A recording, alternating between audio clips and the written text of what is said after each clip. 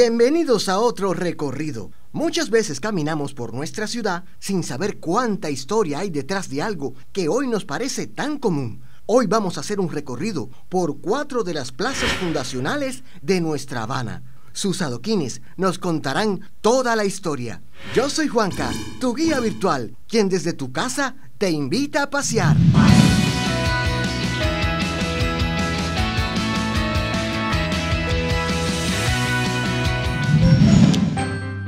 Me encuentro en la Plaza de Armas, el primer espacio público de la ciudad que se utilizaba con fines comerciales. Al igual que la villa de San Cristóbal, se inauguró en 1519 y en sus alrededores estaban las sedes de las autoridades militares y civiles de la época. Aunque hoy la vemos así, antes tenía construcciones de yagua y guano hasta que se comenzaron a construir las viviendas de los pobladores principales de la villa.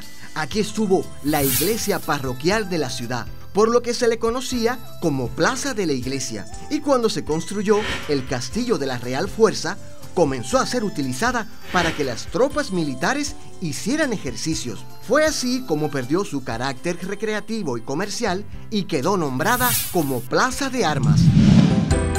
Este sitio forma hasta hoy parte importante de la vida de los habaneros. Está rodeado de árboles, bancos y construcciones muy importantes. En los alrededores de la plaza se encuentran el Palacio de los Capitanes Generales, hoy Museo de la Ciudad, el Palacio de Correos o Intendencia, más conocido como Palacio de Segundo Cabo, el Museo de Ciencias Naturales y la Biblioteca Rubén Martínez Villena.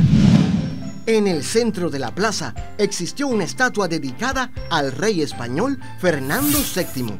En el año 1923, el ayuntamiento habanero decidió nombrar la plaza como Plaza de Armas Carlos Manuel de Céspedes, pero aún no estaba la estatua que hoy vemos dedicada al padre de la patria.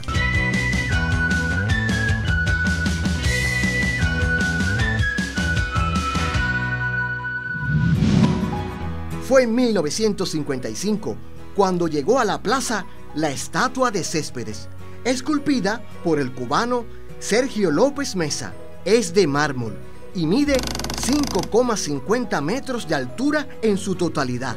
Su base es la misma en la que se sostenía la estatua del rey español. Verla aquí hoy es gracias al empeño del primer historiador de la ciudad, Emilio Roy.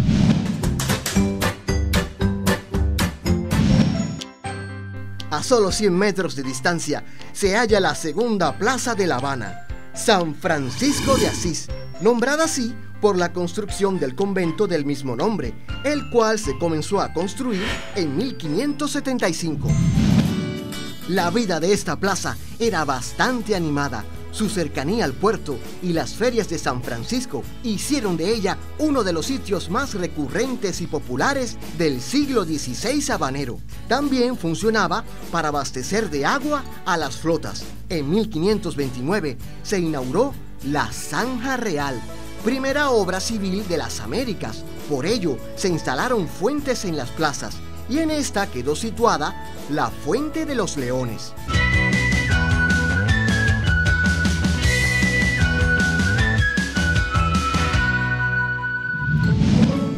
La obra pertenece al escultor Giuseppe Gallini. Está ubicada aquí desde 1836. Es de mármol blanco de Carrara y tiene cuatro pedestales. En el centro de la fuente hay una columna que mide 1,5 metros de altitud y la corona una corola. La fuente de los leones fue trasladada del lugar varias veces, pues debido al vaivén de los carruajes temían que se destruyera estuvo en el Paseo del Prado y luego en el Parque de la Fraternidad, hasta que finalmente fue regresada a la Plaza San Francisco de Asís. Como curiosidad les cuento que Gallini también es el autor de La Fuente de la India, ubicada en Monte y Prado. La plaza está rodeada de importantes edificaciones. Entre ellas se encuentran el Convento San Francisco de Asís, uno de los exponentes más representativos de la arquitectura religiosa habanera. La lonja del comercio se instaló en el siglo XX con fines comerciales y es muy llamativa por su diferente diseño en cada una de sus plantas. En este suntuoso lugar, también conocido como Plaza de las Palomas, conviven varias esculturas, como la del fray Junípero Serra, una de las figuras más relevantes de la etapa inicial del convento, la del virtuoso pianista polaco Federico Chopin, la conversación del artista francés Etienne Pirot y la del ilustre caballero de París del escultor cubano José Villa Soberón. ¿Se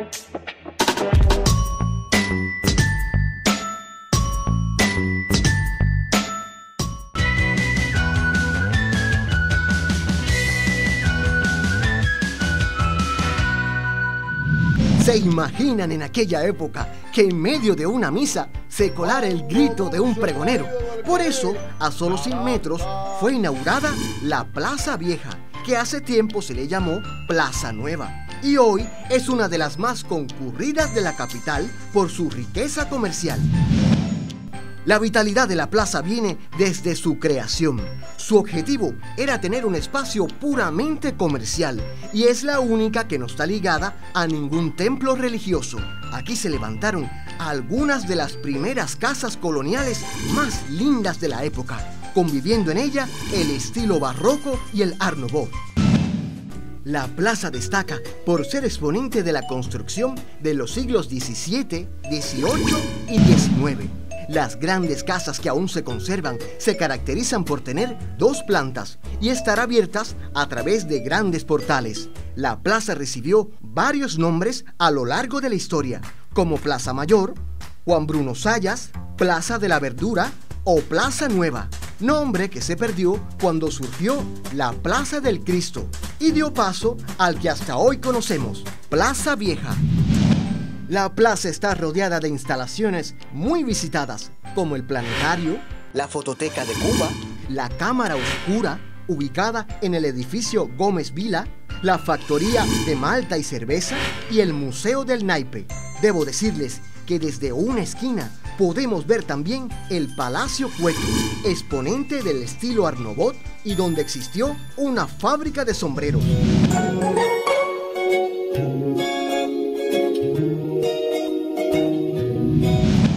ahora me encuentro en una de mis plazas preferidas, la Plaza de la Catedral, o debería decir Plaza Ciénaga. Las aguas que corrían por la villa llegaban hasta este espacio que ocupa la plaza. En uno de sus muros desembocaba la Zanja Real, razón por lo que la llamaban Plaza Ciénaga. Hoy ese espacio es conocido como Callejón del Chorro. Poco a poco la plaza fue cobrando vida y la construcción de la Santa Casa Lauretana cambió su aspecto y más tarde esta fue transformada en la Santa Iglesia Catedral. Después de la apertura de la iglesia, las casas a sus alrededores comenzaron a ser señoriales y vivían en ellas personas con títulos nobiliarios de Castilla.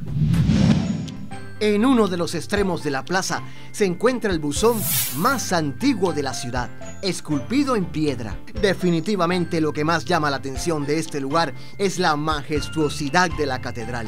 No hay quien se resista a pasar por aquí y tomarse fotos. Eso se debe al encanto de su arquitectura. La Catedral de La Habana tiene estilo barroco en 1632 comenzó a ser más notable y su construcción terminó en el año 1777. En sus alrededores también existen construcciones muy importantes para el patrimonio cultural de La Habana, como el Palacio del Lombillo, el Palacio del Marqués de Aguas Claras, donde vivió el reconocido pintor cubano Víctor Manuel, la Casona de los Condes de Casa Bayona, donde reside el Museo de Arte Colonial, y la Casa del Marqués de Arcos, para muchos, el más importante ejemplo de casa colonial en Cuba y donde se enclava desde 1884 el Liceo Artístico Literario.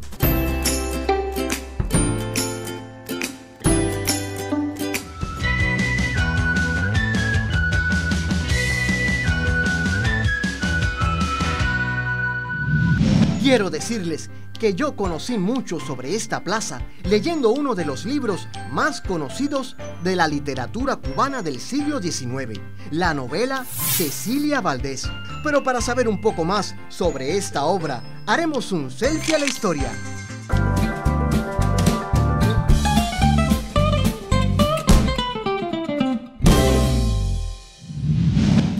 Cecilia Valdés o La Loma del Ángel es una novela de Cirilo Villaverde. Se considera una de las más importantes de nuestra literatura por su carácter costumbrista.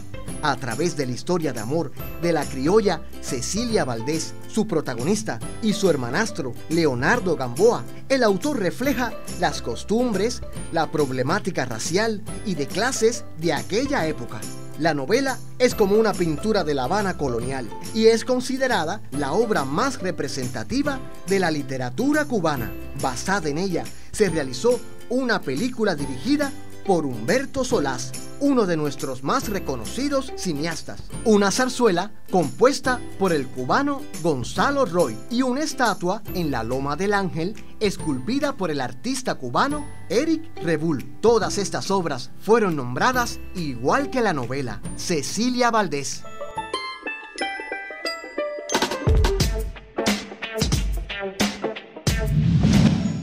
Estas plazas son damas que conocen mucho sobre la historia de nuestra Habana. Es por eso que te convido a cuidarlas. Hoy hemos aprendido muchísimo sobre ellas y las construcciones que a su alrededor encontramos. Espero te haya gustado el recorrido por estas cuatro plazas. Ya me despido. Yo soy Juanca, tu guía virtual, quien desde tu casa te invita a pasear.